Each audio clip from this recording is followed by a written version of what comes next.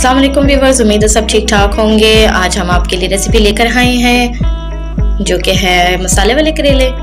तो व्यूवर्स बगैर वक्त ज़ाया किए चलते हैं अपने रेसिपी की तरफ़। तो व्यूवर्स थ्री टेबल स्पून हमने ऑयल शामिल कर दिया है पैन में। ऑयल गर्म होने के बाद बटर क्रोट शामिल कर देंगे, यानी करेले। तो व्यूवर्स ये करेले हमने इसमें फ्राई कर लेने हैं ऑयल में। हमने तब तक इसको फ्राई करना है, जब तक ये लाइट गोल्डन कलर नहीं आ जाता इसका।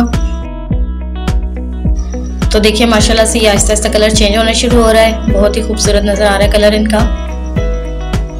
तो ये देखिए व्यूवर्स बहुत ज़्यादा हमने इसको ब्राउन नहीं करना, इतना कलर बहुत है।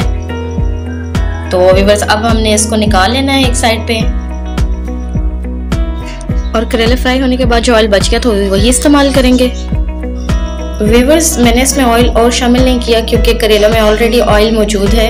अगर आप इसमें शामिल करना चाहें तो मज़ीद आप कर सकते हैं। वीवर्स प्याज हल्का गोल्डन होने के बाद हमने टमाटर भी शामिल कर दिए, साथ ही हरी मिर्च भी।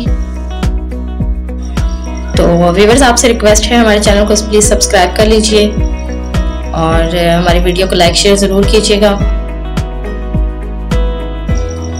हमारी रेसिपी ज़रूर ट्राई कीजिएगा। बहुत ही मज़े के ऐसे बनते हैं करेले, मसाले वाले प्याज टमाटर में। और वीवर्स अब हमने इसमें करेले शामिल कर दिए हैं। अच्छे से इसको मिक्स कर लेंगे।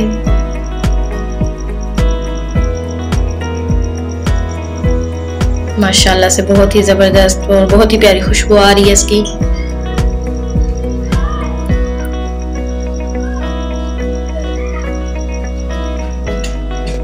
घर में इसको ज़रूर ट्राई कीजिएगा।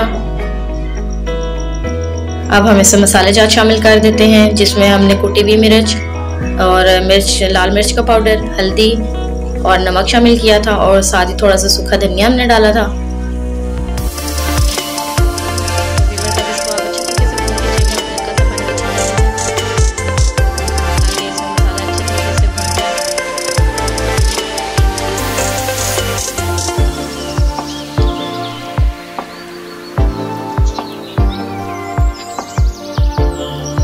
माशाल्लाह से ये आप देख सकते हैं, अच्छे तरीके से पक चुका है।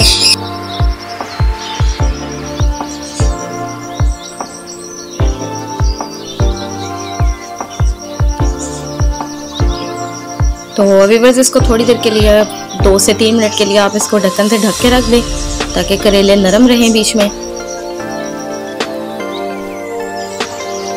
क्योंकि जब हम करेलों को फ्राई करते हैं तो थोड़े से ये हार्ड हो जाते हैं, अगर आप पकने के बाद थोड़ी देर के लिए इसको ढक के रख देंगे तो माशाल्लाह से ये नरम हो जाते हैं और बहुत ही मज़ेदार बनते हैं।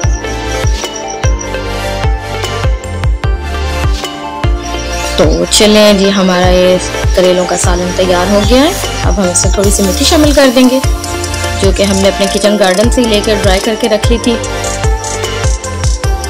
बहुत ही ज़बरदस्त खुशबू आ रही है, माशाल्लाह से। तो वीवर इसी तरह मिलते हैं आपसे फिर किसी अच्छी और खूबसूरत सी और मज़ेदार सी रेसिपी के साथ। तब तक के लिए हमें इजाज़त दीजिए। अल्लाह हाफिज़।